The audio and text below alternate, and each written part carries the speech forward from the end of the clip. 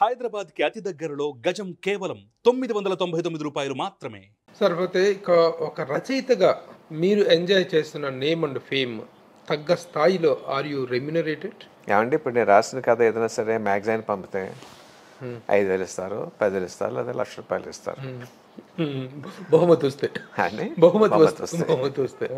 No complaints I'm happy నా ప్రశ్న ఏంటంటే యాక్చువల్గా is the writer being paid properly and respectively నీ can't make a general classification of it అండి how you can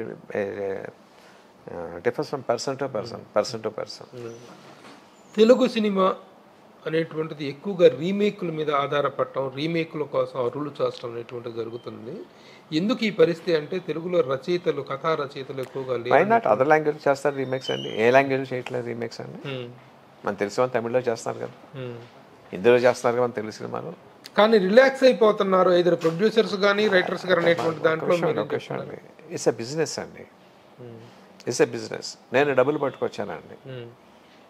పలానా cinema hit అయింది. Hmm. ఆ సినిమా నేను కొంటే పలానా హీరో గారు డేట్లు ఇస్తారు. Hmm.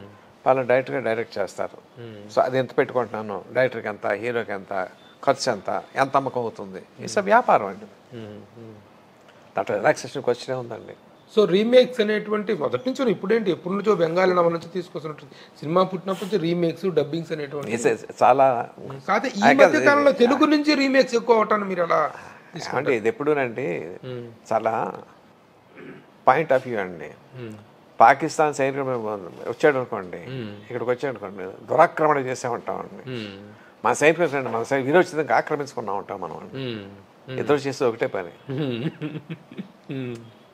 మన సినిమాలు అక్కడికి వెళ్తే ఆనందిస్తాము. ఆ సినిమాలు కొంటే మనం ఏడుస్తాము. మన ఆర్టిస్టులు పరాయ భాషలోకి వెళ్తే ఆనందిస్తాము. పరాయ భాషలోకి వస్తే ఏడుస్తాము. తప్పండి అది.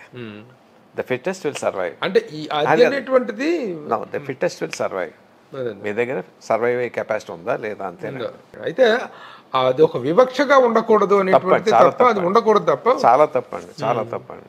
అంటే ప్రపంచంలో ఎక్కడ విషయం ఉండకూడదు. కనీసం ఈ దేశం మంది అనుకున్నప్పుడు నేను భారతదేశం పౌరుడు అనుకున్నప్పుడు భారతదేశం ఏ పౌరుడి కన్నా ఏ భాషలో కన్నా ఎక్కడికన్నా వెళ్ళి పనిచేసే స్వేచ్ఛ ఉండి తీరాలి.